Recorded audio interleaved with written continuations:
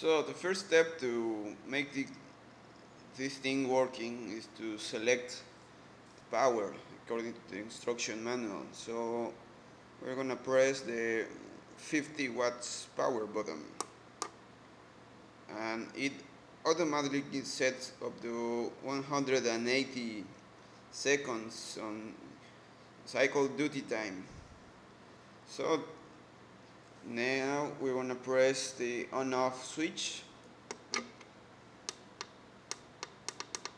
and nothing happens. Okay, 15 watts of power. That's the time.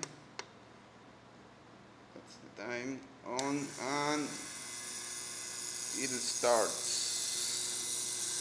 this case I'm using a mixture of water and, and hand, hand soap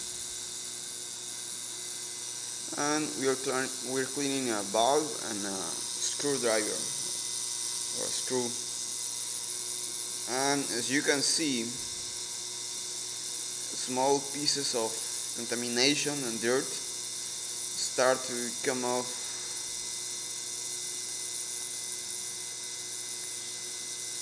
It was not heavily dirty but it has some impurities La petite